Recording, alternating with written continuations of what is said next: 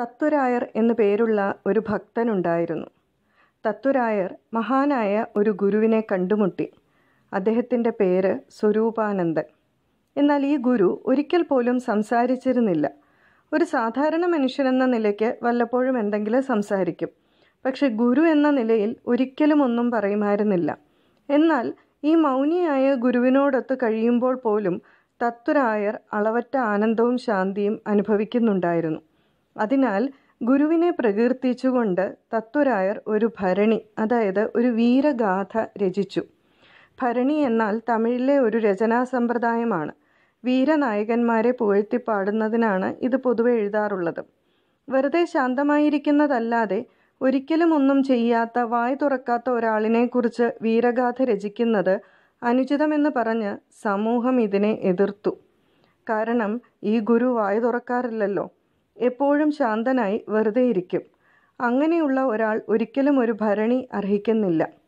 അപ്പോൾ തത്വരായർ പറഞ്ഞു അങ്ങനെയല്ല. എന്റെ ഗുരു ഇതിനേക്കാൾ കൂടുതൽ പ്രശംസ അർഹിക്കുന്നുണ്ട്. പക്ഷേ എനിക്കിത്രയേ കഴിയുന്നുള്ളൂ. ഈ സംവാദം അവസാനിപ്പിക്കുന്നതിനുള്ള ഒരേയൊരു വഴി ഇവരെ എല്ലാവരെയും കൂട്ടി ഗുരുവിന്റെ മുന്നിലെത്തുകയാണെന്ന് തത്വരായർ തീരുമാനിച്ചു.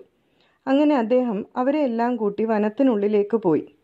അവിടെ ഗുരു ഒരു മരത്തിന്റെ ചുവട്ടിൽ ശാന്തനായി ഇരിക്കുകയായിരുന്നു എല്ലാവരും അവിടെ പോയി അദ്ദേഹത്തിന്റെ ചുറ്റുമിരുന്നു. തത്വരായർ പ്രശ്നം അവതരിപ്പിച്ചു. അങ്ങേ പ്രകീർത്തിച്ചുകൊണ്ട് ഭരണി രചിച്ചതിനെ എല്ലാവരും എതിർക്കുകയാണ്. ഇത് വീരനായകന്മാർക്ക് മാത്രമുള്ളതാണെന്നാണ് പറയപ്പെടുന്നത്. ഗുരു ഇതെല്ലാം കേട്ട് ശാന്തനായിരുന്നു. അവരും മിണ്ടാതെ അവിടെ ഇരുന്നു. മണിക്കൂറുകൾ കഴിഞ്ഞു. എല്ലാവരും ശാന്തരായി ഇരിക്കുകയാണ് ദിവസങ്ങൾ കഴിഞ്ഞു അപ്പോഴും എല്ലാവരും ശാന്തരായി ഇരിക്കുകയാണ് അങ്ങനെ അവരെല്ലാം ശാന്തരായി എട്ട് ദിവസം ഇരുന്നു കഴിഞ്ഞപ്പോൾ ഗുരു സ്വരൂപാനന്ദൻ തന്റെ മനസ്സ് ചലിപ്പിച്ചു തുടങ്ങി. ആ നിമിഷം തന്നെ അവിടെ ഇരിക്കുന്ന എല്ലാവരുടെയും മനസ്സ് പ്രവർത്തിക്കാൻ തുടങ്ങി. അപ്പോൾ അവർക്ക് മനസ്സിലായി യഥാർത്ഥത്തിൽ ഒരു വീരനായകൻ എന്നാൽ മനസ്സ് എന്നും അഹങ്കാരം എന്നും നാം വിളിക്കുന്ന മതയാനകളെ ഇണക്കുവാൻ കഴിവുള്ള ആളാണ്.